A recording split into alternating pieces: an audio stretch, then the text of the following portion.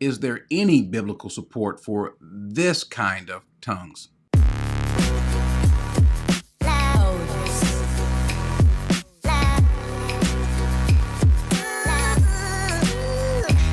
We can agree and disagree on a lot, particularly as it relates to tongues and things of the Holy Spirit. But I don't think that anyone can, in good conscience, especially in biblical biblical conscience, state that what we're seeing here is supported by the scriptures. That's the power of God, church. She just received the gift of tongues. Speak it out loud.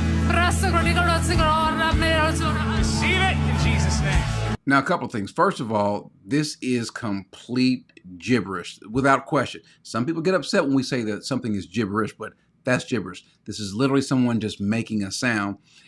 And then notice also after they make this sound, then he lays hands on them and says, Receive it. Receive what? What were they just doing? I thought what they were just doing, that was the Spirit working in them. So then after they are speaking in tongues, which is in tongues, but afterwards, then you lay hands on them and say, Receive it, and they fall out. If this doesn't make any sense to you, it's because it shouldn't make sense. This is not supported in the Bible. Pray out loud in the Holy Ghost.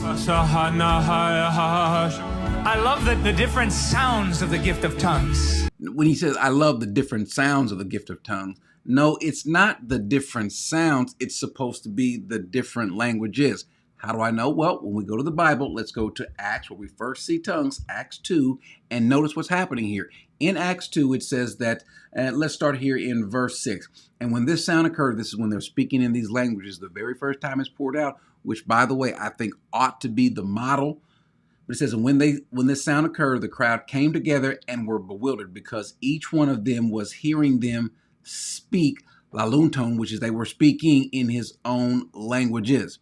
So they heard them speaking in a language that they were familiar with.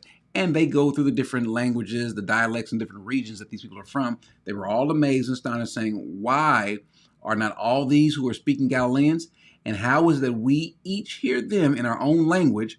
To which we were born. And he goes to the list Parthians and Medes and Elamites and residents of Mesopotamia and Judea. And so the point is, they hear them speaking in these different languages, not the different sounds. They're they are literally saying something.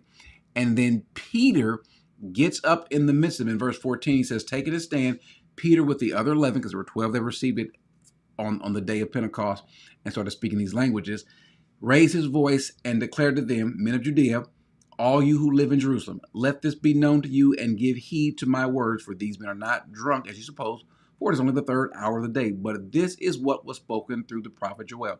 And so he's going through and speaking about what Joel says. And notice that if we keep reading, Peter is telling them what they're saying. He's explaining to the audience what was saying. As he's saying verbatim what this person spoke, what this apostle spoke in this language, what that apostle spoke in that language, verbatim? No, because obviously they can't say it the exact way verbatim, depending upon the language they were speaking with. But he's given an overview. What is he doing? He's literally giving interpretation. By the way, guys, this is the only time in the Bible, the only time where someone speaks in a language and then another person gets up and gives interpretation.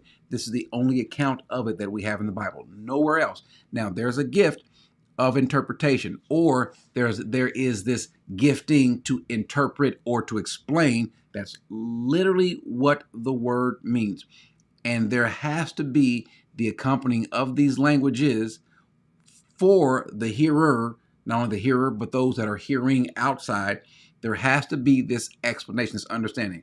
The person that's hearing needs to understand what's being said. The person that's saying needs to understand what's being said, and those that are around will also have to have some sort of understanding. We know this is biblical. The problem is this is not happening here. Did you receive it? Come here. You want to pray in tongues? Lift your hands. Close your eyes. Light her tongue on fire, Lord. That's it. That's it. That's it. So he's asking her, "Did you receive it?" She says yes, and then he then he he didn't actually touch her mouth, but puts his hand over her mouth and then tells the Lord, light her, light her tongue on fire. But I thought she already received it.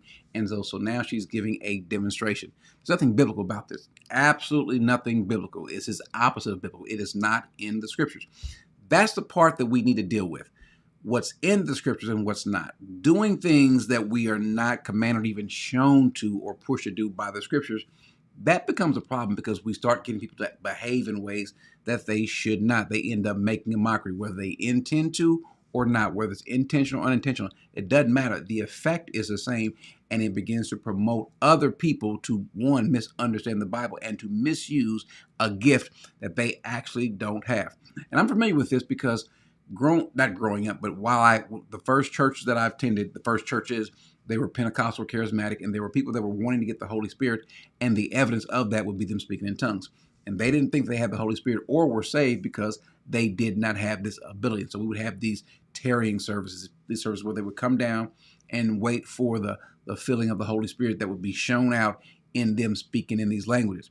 And there were people, countless numbers of people that would go down and would not speak in tongues, and they left distraught, thinking that I don't have the Holy Spirit, thinking also I, I might not even be saved. Well, Paul begs to differ. Paul says that everybody in 1 Corinthians 12, he says that all of us who are in Christ, all of us have been baptized into one body.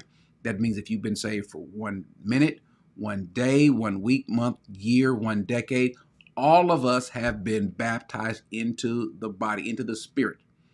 And so that's that's the one fatal problem or the one dangerous problem that you'll get people to believe that they are not saved or don't have the Holy Spirit. Getting them to feel like they are second class citizens in the body. We don't have any second class citizens. Matter of fact, it's exactly what Paul is trying to get across in 1 Corinthians 12 that there's no part of the body that is of less importance. There's no part of the body that's more important, no part of the body that's deserving of more honor or less honor. But all of us, all the giftings are to build up the body, not yourself, but to build up the body. And so what we're seeing here out of David Hernandez, it's just not biblical at all.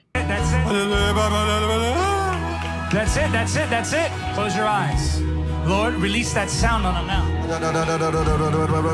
That's the power of God on you, man. We're Pentecostal people of God. We believe in speaking in tongues you can believe in speaking in tongues, but you're not doing it biblically. You're not doing it the way the Bible says to do it. And when you want to go outside of that, when you want to deviate from that, well, then you end up having a deviant form of Christianity. And that is the problem. You don't have to do that. Why can't the Word of God in your language that you understand, why can't that be enough? Because people look for signs, people look for wonders, people look for things to want to make them feel good. But Jesus called that a, an adulterous and wicked generation and you've been given a sign. If you're looking for one, it was him in the tomb and that he rose. The problem is that this sort of thing leads to all sorts of foolishness. What sort of foolishness do I mean?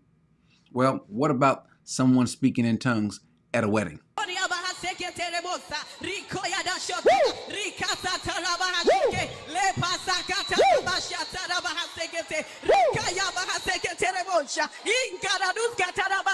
you would be hard pressed to say that that is biblical. You'd be hard pressed to find an example. The reason why we see that, well, first of all, let's just deal why why it's unbiblical. One, there has to be an interpreter. Let's go to what Paul says in 1 Corinthians 14. Now, irrespective of what you think about tongues, you would have to agree that the public display of tongues has to be accompanied by an interpreter.